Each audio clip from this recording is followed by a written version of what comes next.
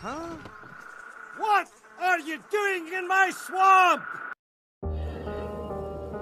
Hello, everybody. This is Ogre Boy, and I'm going to be doing my review for the 1996 movie Scream. Uh, with the new movie coming out next week, I thought I'd go ahead and revisit the Scream franchise and re-review them. I reviewed them a couple years ago, and those videos weren't in the best quality and everything, and so I thought I'd go ahead and revisit them and review them again before reviewing the new one, uh, which I will see sometime either I'm hoping to go maybe opening night, but I probably won't be able to. It'll probably be sometime the week after it's released um, because of work and everything. So I'll just have to wait and see when I'll get to go see it. But the first chance I get, I'm going to try to go see it because I'm really looking forward to the new Scream movie. Uh, but so uh, this movie follows uh, Sidney Prescott, played by uh, Neve Campbell, and uh, this movie picks up a year after her mother had been killed, uh, and uh, she finds herself intertwined in this big mystery uh, when her fellow students start getting murdered one by one, and uh, and she like becomes the center of this real life horror movie and uh, they're trying to figure out who the killer is and who's killing these students and stuff and uh, it all is linked to Sidney's mom and her past and everything and uh, uh, has a lot of big twists and turns in here. If you've seen the movie you know what I'm talking about which most people who love horror movies have seen this movie because it's like one of the most influential horror movies of all time. It was like the biggest uh, horror movie of the 90s more th- i'm pretty sure that you could say that it's like the biggest mo- horror movie of the 90s and one of the biggest movies of the 90s in general and everything it kind of reinvented the slasher genre and it has a lot of meta humor in it uh, and it's kind of kind of a dark comedy as well as a a good whodunit slasher um, but it, it kind of satirizes the cliches of the genre and everything. And it has a really, really awesome cast. All of the the main cast members in this movie are really great in here, especially Neve Campbell as Sidney. She's just one of the best final girls in horror film history. and She's just excellent in here. But you also get uh, David Arquette and Courteney Cox, who are also in the rest of the movies in the franchise alongside Neve Campbell is uh, uh, Dewey, the the deputy, and uh, Gale Weathers, who's this uh, uh, newswoman and everything. And uh, at first, she doesn't really get along with Sidney and stuff. She kind of gets a redemption by the end of the movie, but at, at first, she's kind of an unlikable character. Um, but you also got other really great supporting characters. Uh, uh, Rose McGowan is Tatum, who is Dewey's sister. She's really, really good.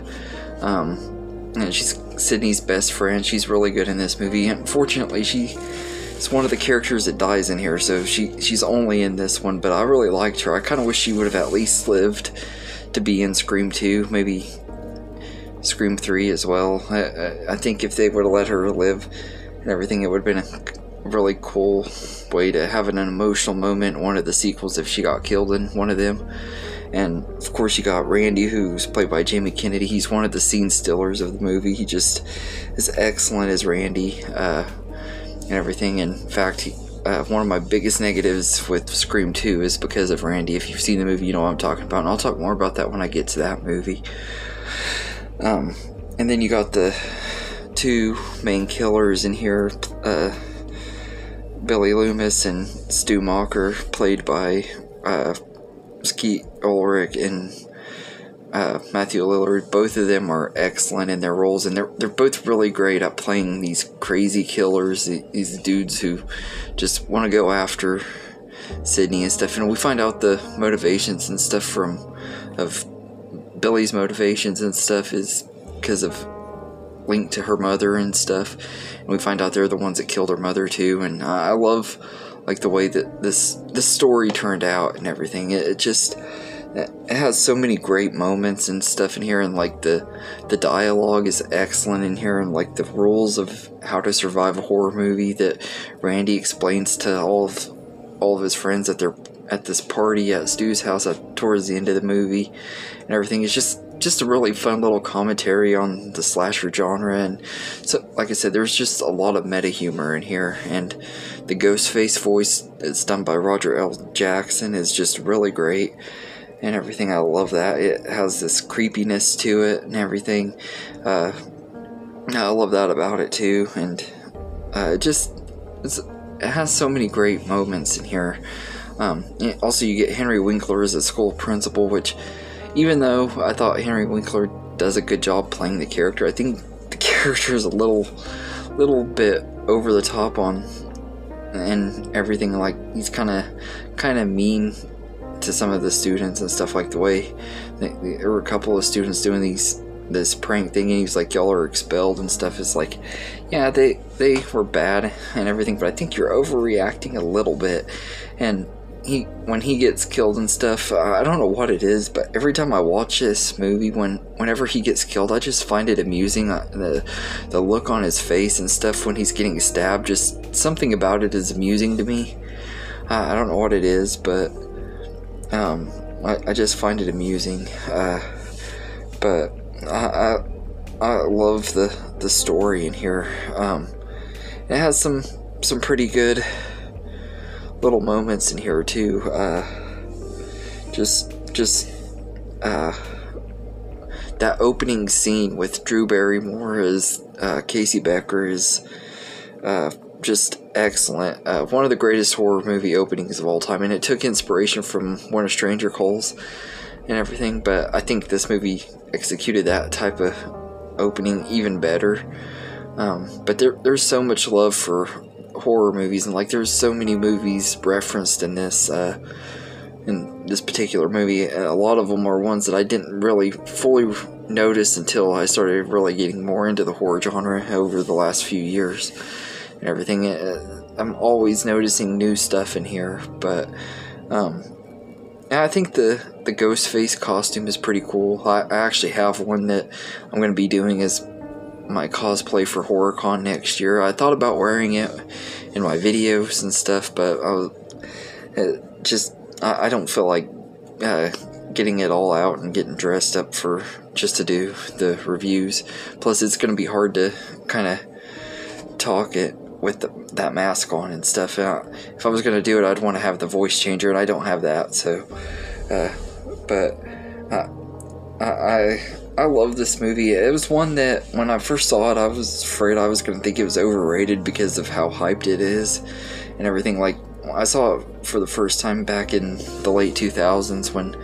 Uh, I was in my teens and everything. I was probably about 15 or 16 when I saw it the first time, and I'd heard about it throughout the years, like how it was like one of the greatest horror movies of the 90s, and how it, it how influential it was and stuff. I was like, yeah, I'm probably gonna think this movie's overrated, but I really don't. It, it, it is really popular for a very good reason. Like, like this is a very influential horror movie, and there were a lot of Scream ripoffs and stuff in this movie, uh, or from this because of this movie. Like, uh, some of them were really good, some some of them were pretty bad. I mean, but you could see the influence in the slasher genre after this movie came out. Like, it influenced a lot. It even influenced other franchises like Halloween H2O, which I thought was like pretty much just a Halloween version of Scream. It was Scream with Michael Myers. Um,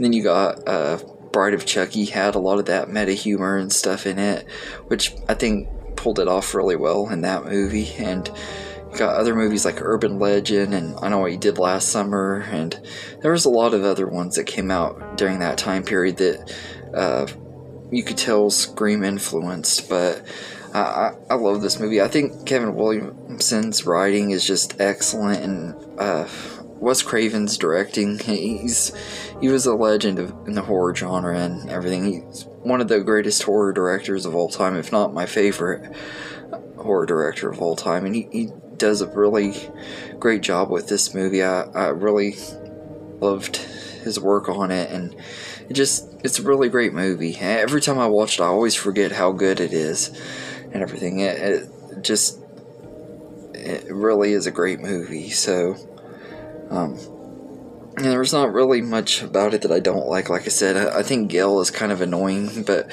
she's just one of the characters in the franchise I've never been a big fan of. Even in the sequels, I thought she's a she kind of just gets on my nerves. There's something about her that I just never have been a huge fan of. I think Courteney Cox does a great job playing her, though. I love her as the character. I just I'm not big on the character, if that makes sense. I just kind of find her annoying. Uh, but and I also love like how in this movie, uh, Dewey is kind of kind of like a kind of dim-witted and stuff. He reminds me of one of my old neighbors that was a security guard. Like the way he acts in Dewey acts in this movie, it, he doesn't really act like that as much in the other ones. He is still a little bit dim-witted, but he's not as as much as he was in this one. And like he gets called doofus and stuff by his sister and everything, but he just he, he's one of the things about the movie that I think is funny. And David Arquette is just great in here too. But like I said, this just has so many great moments and everything. Uh, and that whole third act is just excellent. It's the highlight of the movie. Like the whole third act of this movie is is great and everything. And my biggest other big thing that I would say if I did have a negative would be that the kills are super super memorable and not as creative as other slasher genre movies. Uh, a lot of them are just pretty much the stabbing with the knife. Uh, Kate or not Casey. Uh, um, Tatum's kill is probably the only one that was kind of creative with the garage and everything. That was probably the the best kill. Most of them were just the stabbing or slashing and everything. It, it's not anything terrible or anything that they have good gore and stuff, but it just the kills could have been a little bit more creative and better, I guess. Uh, you got Chucky and Jason and Freddy who have all those unique kills and stuff, and Ghostface is just kind of, kind of a got generic kills. I mean, Michael Myers, I guess, does too at times, but even he gets more creative with his kills and stuff. So uh, I will say that's probably the one thing about the whole Scream franchise that I I, I uh, would say other franchises have over it is the kills are better in a lot of them. But all in all, I think this is a really great movie. It's like I said, it's a fun whodunit mystery movie, but it also is a fun nod and love letter to the slasher genre, and it just it's a very great influential movie that all these years later is still uh, held as one of the, like the most popular and uh, well beloved slasher movies of all time, and it, it's one of those '90s movies that feels like a 90s movie and you can tell when it came out and stuff but it's still it's just really entertaining and everything. So uh, I'd say I'd give it a 9.5 out of 10. It's really, really great movie, and uh, I absolutely love it. I, I get why a lot of people love this movie. It's it's one of those that could be overrated, but it, it isn't because it just is. It's so great and everything. So let me know in the comments what you think of the first Scream movie.